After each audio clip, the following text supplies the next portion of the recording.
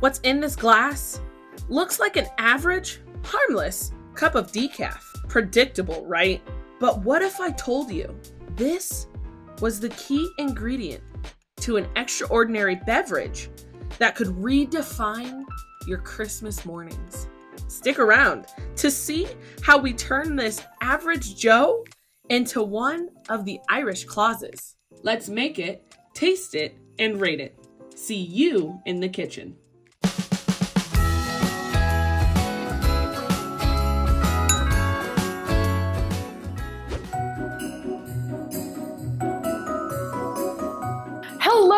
All of my honey hustlers. Samone Doniece here, and welcome or welcome back to the cocktail kitchen.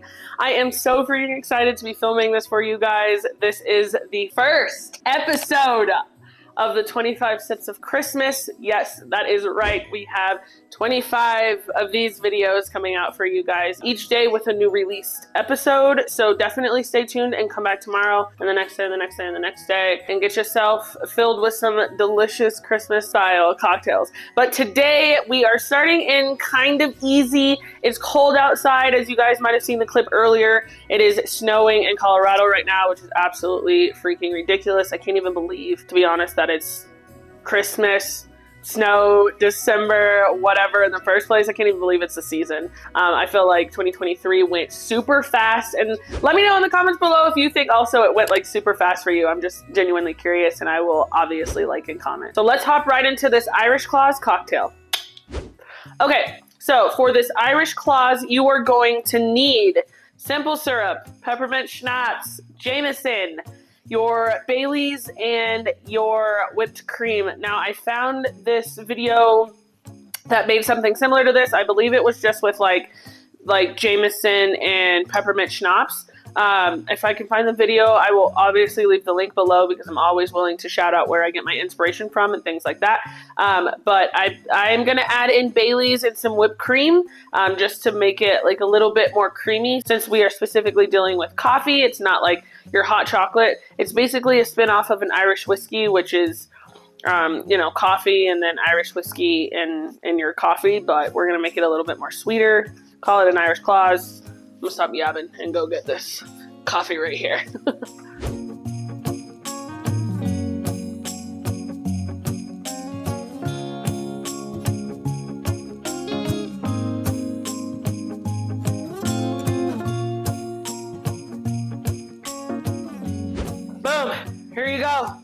Here you have it. Here it is. Delicious. There is nothing special about this coffee. It is your store brand decaf style coffee uh, because that's what we had at the house. You can use any style of coffee that you would like. I myself am not a coffee connoisseur. Just give me some nice black coffee and I'll spruce it up myself. So that's what we're gonna do. Okay, for this Irish Claus, we are going to do a half an ounce of simple syrup.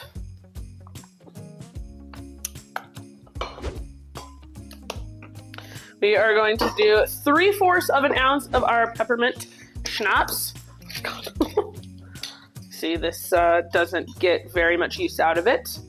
But if you were here actually last year, I gave a really good flashback into my more kidless days in Dallas, Texas, when my husband and I used to live there, and my best friend and I, Alexis, we would go out and we would go party in Dallas and take Rumple Minze shots.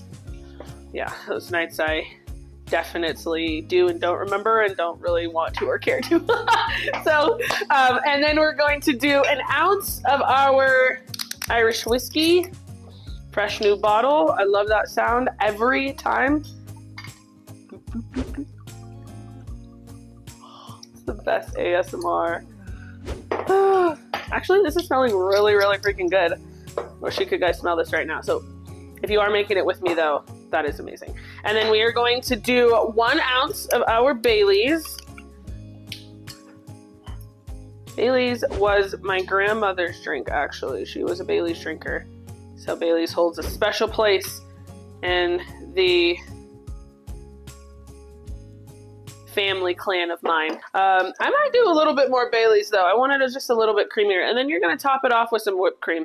But I'm actually I don't know. I might do maybe another like half of an ounce of Bailey's, just because we really do like Bailey's in this family, and I like my coffee kind of creamy. Obviously, look who I married. Just kidding. we are going to top off with a little bit of whipped cream. Or a lot of bit of whipped cream because this is a lot of coffee. So we want to make a Santa's hat as much as we can. It's cute. Oh, dipped over.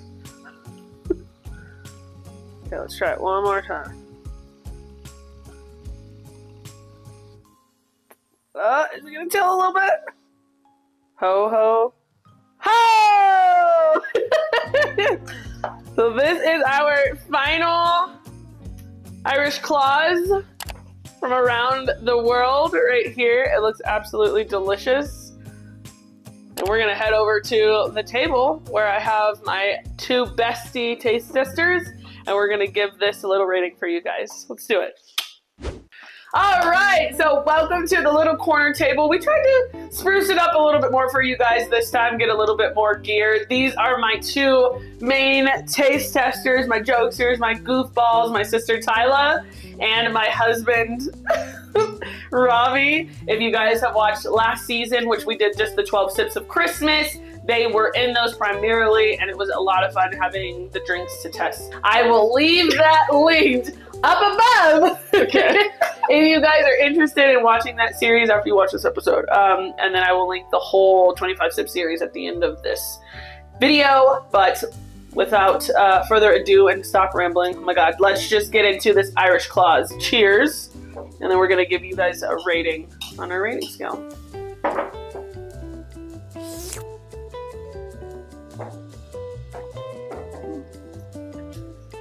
On a scale of one to five, our rating goes in the toilet, which is a one, sipping alone, which is a two, hanging with the homies, which is like a three, cocktail party, which is a four, and diamond, or they, diamond is forever, which is a five.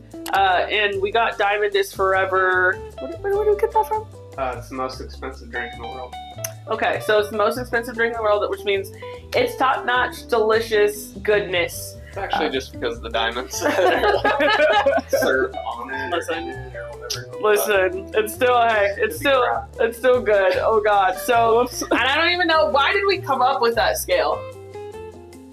Like, uh, do you remember? do something different? Yeah. Yeah, just be different. One to five was lame, so it was just spruce it up. Yeah, that's fair. But then everybody kept doing like one to ten. So, anyways, that's our scale. this is our first video. We'll get we'll get better and more warmed up as we go along. But all right, one, two, three. Hang on. Hang- Oh, what? Hanging with the homies. Hey! It's a solid three. What up, homies? What did you What do you guys ultimately think? What could be better? Who is it for? Um, how you feeling? I mean, I don't know if you can do much to make it better. Mm.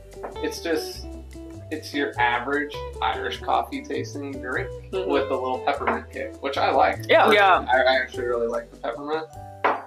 So I don't think there's anything you can do to make it better. It's just, it's not like gonna, it didn't blow me away. Yeah, I mean, there's not Bailey's in a regular Irish coffee though. It's just it's usually just whiskey, um, the coffee, and then like at least in Ireland, even like the whipped cream is not even sweetened. It's Yeah. just whipped cream. Yeah, it, Yeah, it doesn't put hair on your chest like a real Irish yeah, that's for sure. Well, but it's still pretty good. Yeah.